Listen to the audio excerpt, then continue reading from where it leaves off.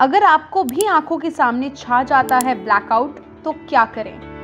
हमारे चैनल में आपका फिर से स्वागत है, जहाँ हम इंपॉर्टेंट हेल्थ इश्यूज़ पर चर्चा करते हैं और आपको बहुत इंपॉर्टेंट जानकारी प्रदान करते हैं। आज हम एक मेडिकल इमरजेंसी का समाधान करने जा रहे हैं, जो किसी के साथ भी हो सकती है। अपनी आँखों के सामने ब्लैकआउट का अनुभव करना। यह जानना महत्वपूर्ण है कि अपनी सुरक्षा और भलाई सुनिश्चित करने के लिए इस स्थिति को कैसे संभालना है? तो चलिए शुरू करते हैं। सबसे पहले आइए समझें कि एक्चुअली ब्लैकआउट क्या है। एक ब्लैकआउट जिसे कॉन्शियसनेस और अनकॉन्शियसनेस के टेम्प्ररी लॉस के रूप में भी जाना जाता है। तब होता है जब ब्रेन में ब्लड फ्लो और ऑक्सीजन का टेम्प्ररी डिस्टर्बेंस होता है।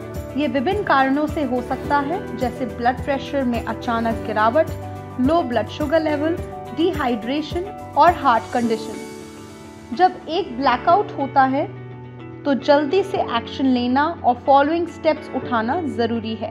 पहला, शांत रहें। जब आप किसी को ब्लैकआउट का अनुभव करते हुए देखते हैं तो सबसे महत्वपूर्ण बात यह है कि शांत और उचित रहें।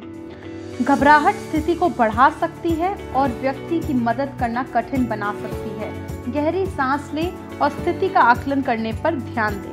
सुरक्षा सुनिश्चित करें किसी भी पोटेंशियल हजार्ड्स के लिए इमीडिएट इन्वायरमेंट का जाँच करें नुकीली वस्तुओं फर्नीचर या ऐसे किसी भी चीज़ से क्षेत्र को साफ़ करें, जिससे गिरने के दौरान चोट लग सकती है यदि ब्लैकआउट का अनुभव करने वाला व्यक्ति खड़ा है तो आगे की चोट को रोकने के लिए उन्हें धीरे से ज़मीन पर ले जाएँ। पैरों को ऊपर उठाएँ। एक बार जब व्यक्ति ज़मीन पर आ जाए तो पैरों को अपने सीने की स्थिर पर ऊपर उठाएँ। ये ब्रेन में ब्लड फ्लो को बेहतर बनाने और कॉन्शियसनेस को रिस्टोर करने में मदद कर सकता है। उनके पैरों को ऊपर उठाने के लिए पास की किसी वस्तु, जैसे कुर्सी या कुशन का उपयोग करें। याद रखें, पैरों को ऊपर उठाना हर किसी के लिए उपयुक्त नहीं होता है।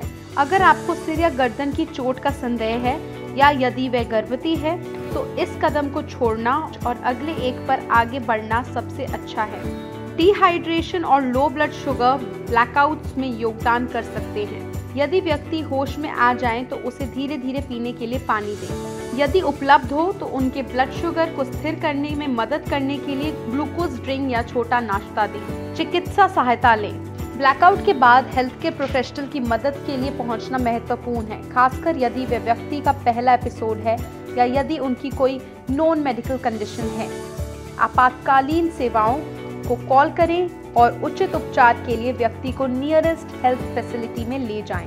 अंत में, यदि आप ब्लैकआउट देखते हैं तो शांत रहना याद रखें, सुरक्षा सुनिश्चित करें, पैरों को ऊपर उठाएँ जब तक कोई मतभेद ना हो हाइड्रेशन और ग्लूकोज लें और मेडिकल हेल्प लें। ये कदम स्थिति को कम करने और व्यक्ति को भलाई सुनिश्चित करने में मदद कर सकते हैं। आज हमसे जुड़ने के लिए धन्यवाद। हम आशा करते हैं कि आपको यह वीडियो जानकारी उपयोगी लगी होगी और आप ब्लैकआउट आपदा स्थिति से निपटने के लिए अधिक तैयार महसूस करेंगे। याद रखें, सूचित किया जाना और तुरंत कार्य करना सभी अंतर ला सकता है। सुरक्षित रहें, ध्यान रखें और हम आपको अगली बार मिलेंगे।